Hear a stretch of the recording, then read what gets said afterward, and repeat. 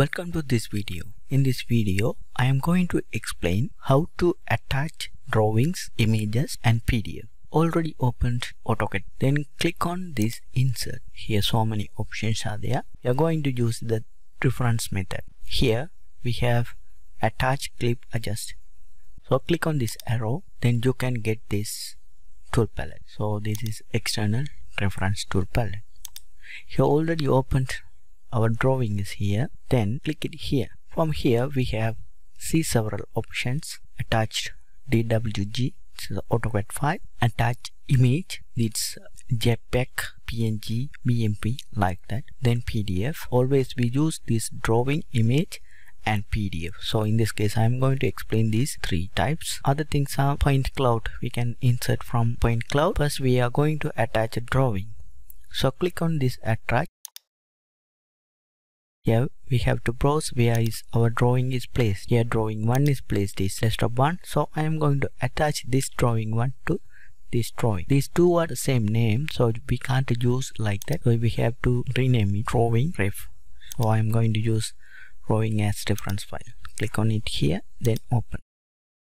Here we have some several options to attach external reference. First we have we can change the scale by clicking on on screen. Or default is 1 if you want scale two factors you can enter 2 drawing will scale up by 2 then if you want ununiform scale you can untick this. Here we have x and z. So if you want y-axis is 2 and x-axis is 1 same as you can use. First we can insert this reference file as scale 1 is to 1 then click ok. Here you can see the difference is added is you can see the difference between this drawing 1 and drawing reference the icon is changed. My drawing is here. Next same as go here and attach drawing. And same as drawing reference and click ok open. Here we have several options. So I am going to untick this one and give the y value as 2 then click ok. Here you can see this is scaled up by 2 go to difference then click open. Go here I'm going to give this as uniform scale or you can use both x-axis is 2 and y-axis is 4 then click ok. Here you can see the scale by 2 now we have all objects here. You can move this as normal. So click on it here and click on move. Then you can move anywhere. But these are one object. We can't work with this if you want to work with this right click and go to edit xref in place which is which means we can edit with this window. So edit xref in place. So click it here. Then click ok. So you can't trim or uh, any other things we can't do. You can see here. We can't trim. So this is a reference file. Just we can attached for reference and then we can develop our drawing. Same as click on here then go to attach image. So I am going to this capture then click OK. Here we can place where I want then also I can insert the rotation. So in this case I am going to insert the rotation as minus 90 degree then click OK.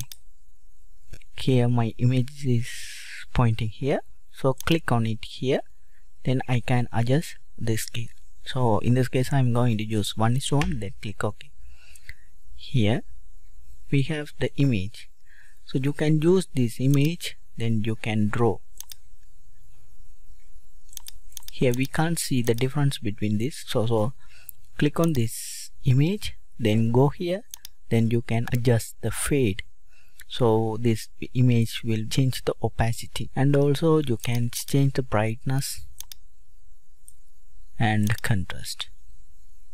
If you want this is a large image. If you want to clip this area click on create clipping boundary.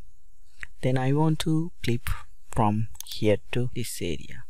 So this is my reference so I can guess we can work with here. So you can adjust click on here. This is a inverted value. Click in here. This is a normal value. So likewise we can use these image files as reference. Next one go to go here then attach PDF the same as so I am going to insert this image then click open. Same as image you can insert the images. Likewise you can attach the images drawings and pdf i hope this video is very useful. Please share with your friends. Thank you